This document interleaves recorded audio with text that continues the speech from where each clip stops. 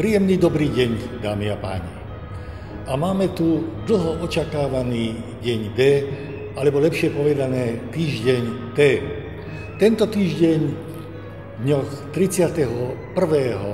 mája a 1. júna sa uskutoční záverečná dvojica koncertov koncertnej sezóny Slovenskej filharmonie, ktorými sa táto koncertná sezóna definitívne završí.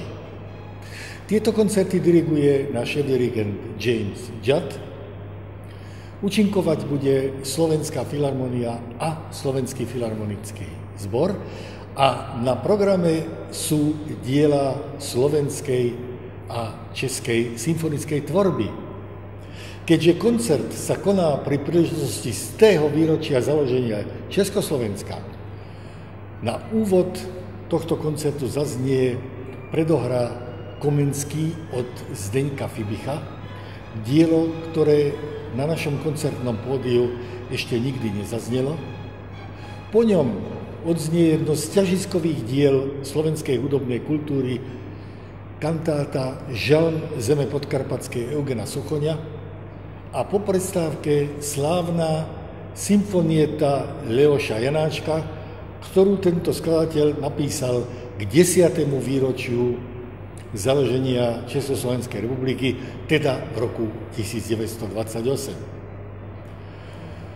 S rovnakým programom ako Slovenská filharmonia a Slovenský filharmonický zbor a ešte za spoluúčinkovania českého tenoristu Jana Vacíka vystúpia obe tieto telesa aj na záverečnom koncerte Praskej jary, tohtoročnej Praskej jary, dňa 3. júna 2018, ktorý takisto diriguje náš dirigent James Judd. Dámy a páni, 69. koncertná sezóna Slovenskej filharmonie je definitívne za nami. Ja vám aj v mene vedenia Slovenskej filharmonie ďakujem za priazeň, ktorú ste počas celej sezóny našej inštitúcii preukazovali a teším sa na vás aj v októbri, na záver októbra, na úvodných koncertoch slávnostnej jubilejnej 70. koncertnej sezóny Slovenskej filharmonie, ktoré takisto bude dirigovať náš dirigent James Judd.